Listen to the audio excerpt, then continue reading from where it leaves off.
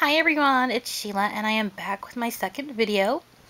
I'm not sure how this is going to work out. This is a little uh, top heavy on one side because that's wood up there. And don't mind my little glue bottle here. It's trying to keep it steady. But what this is, is it's just a Christmas decoration that I made. Um, I used another one of my um, cardboard pizza box bottoms. Excuse me, guys. I've been sick. But um, here's what I did. The background paper is from My Mind's Eye, The Merry Days of Christmas, I believe, is the stack. Um, but it's just beautiful, beautiful paper. So I put that on to cover it with. Um, then I used this little wooden um,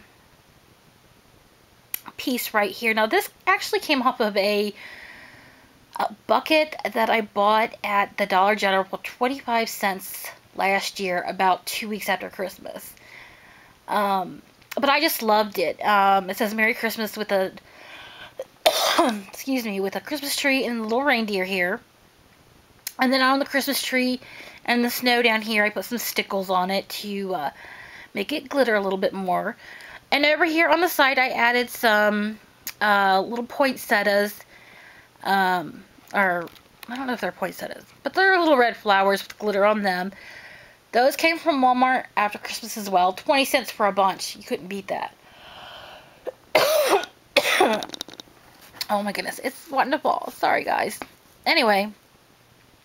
So then, um, down here on the bottom, I put my glue down and I wanted snow on it because I wanted my little Christmas trees to be sitting on snow.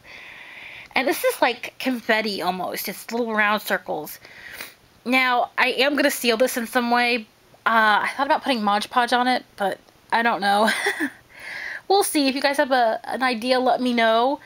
I probably should have done that beforehand, but I was just so excited to get this done because I really, really love this. Um, but I put that down for my snow. And then I added these little Christmas trees um, that I had in a haul video y'all have seen. These came from um, Hobby Lobby. I just love them. So gorgeous. The red and the green one. And then over here on this uh, glittery snowflake, um, I glued that on. And then on top of him, I glued this little snowman that is just so, so cute. I just, I love this. This is going to go in our living room.